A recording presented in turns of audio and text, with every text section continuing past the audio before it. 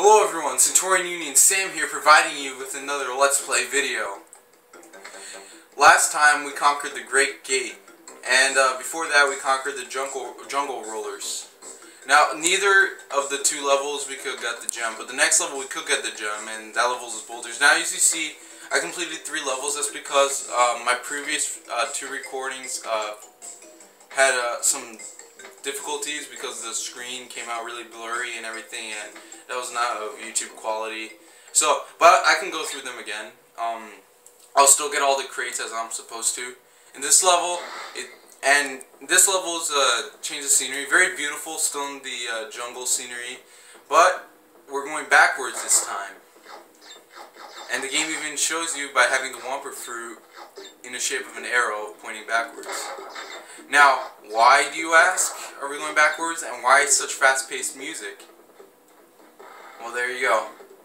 This entire level, we're supposed to survive getting crushed by a boulder. So basically, you just run backwards and don't let the boulder hit you. Don't. The boulder's pretty slow, so uh, you can outrun it easily.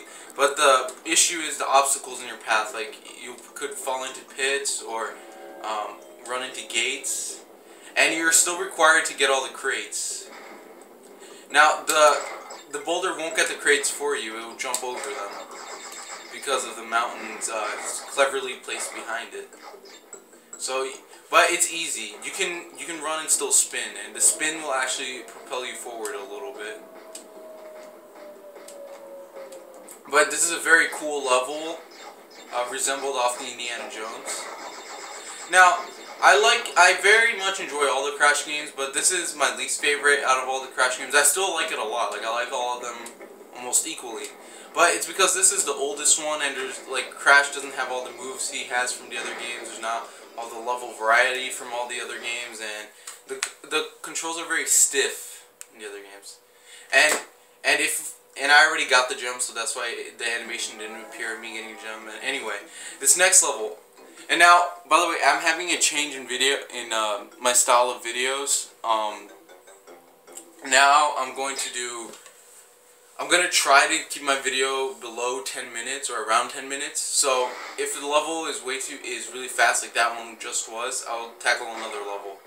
Before I try to like do one level per video, but some levels are way too short. Like as you guys remember, the jungle rollers were way too short.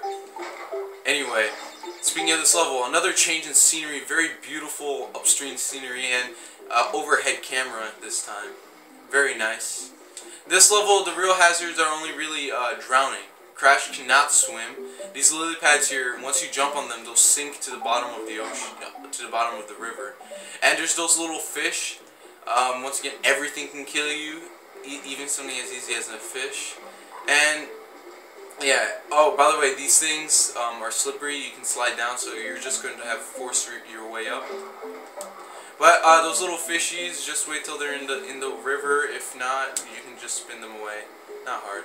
This leaf doesn't sink; it just uh, floats.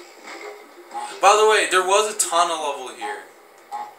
I, I'm sorry about that. There was a Tawna level here, but I already beat it, so yeah, very unfortunate. I hope this uh, error does not happen again. I truly apologize for such a setback. But anyway, those piranha plants you saw me, these piranha plants with the green leaves, um, they snap once you jump on them. So once you jump on them, get out of them quickly or else they'll snap at you. These blue piranha plants, uh, they snap at, at their own timed rate.